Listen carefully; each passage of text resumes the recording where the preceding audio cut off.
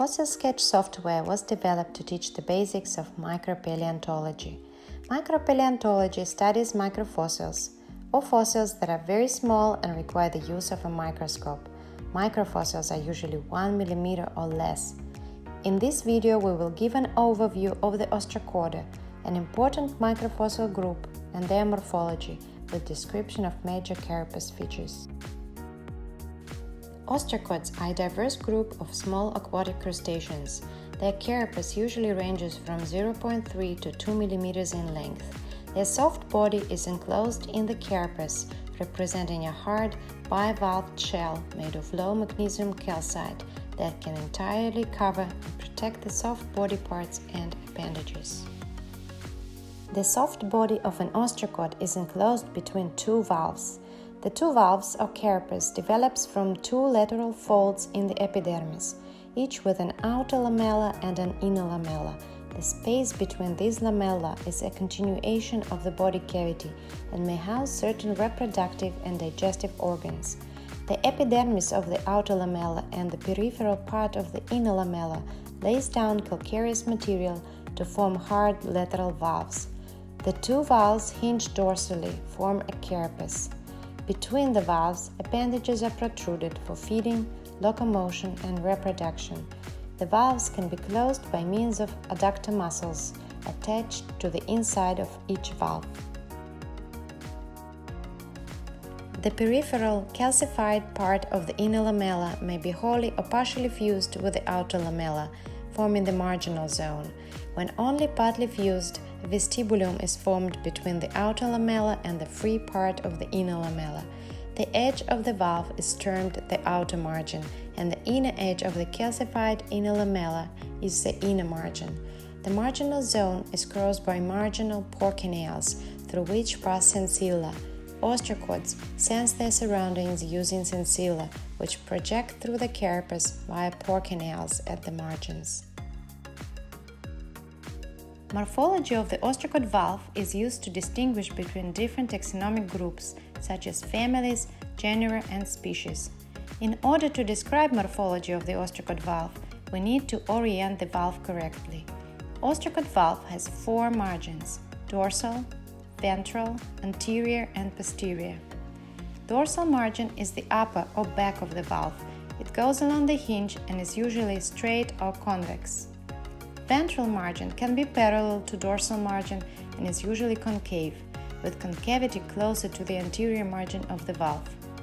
Maximum length is subparallel to ventral margin.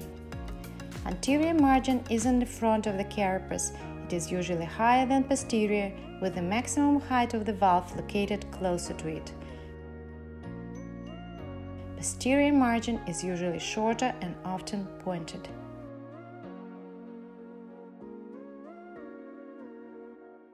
The hinge connects the two valves along the dorsal side. It is generally regarded to be the most important for the family and genus level taxonomy.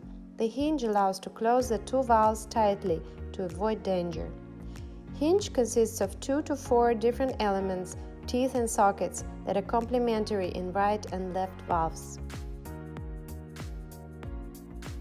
Adductor and frontal scars are situated in the central muscle field in both valves of ostracod carapaces.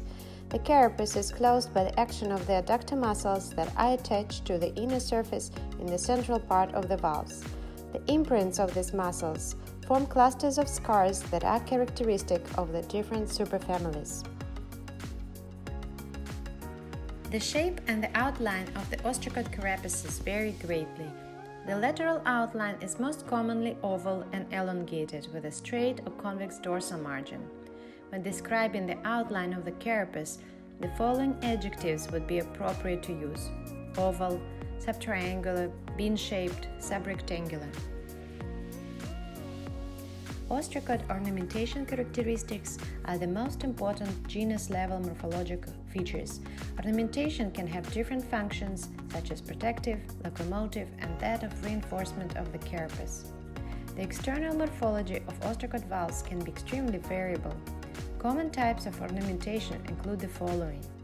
Valves can be punctate or pitted, with punctae that vary in size and cover the entire valve or only part of it. Valves can be reticulated.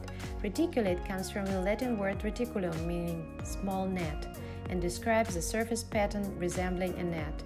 The reticulation pattern on the surface of the valve reflects the cell arrangement of the underlying epidermal cells. Ostracod valves are often ornamented with spines. Spines can be skirted, forming patterns or covering the entire surface. Other common ornament features include tubercles on orbs and ridges. The carapace may possess a lateral wing-like extension or ala, or have a posterior extension or caudal process. Ostracods, like other crustaceans, molt between growth stages that are called instars. There are usually nine instars between egg and adult. The presence of juvenile carapaces in the fossil assemblage is extremely important for paleontological studies. If an assemblage contains a mix of instars, it is relatively safe to assume the material is in situ, or a true reflection of the living assemblage.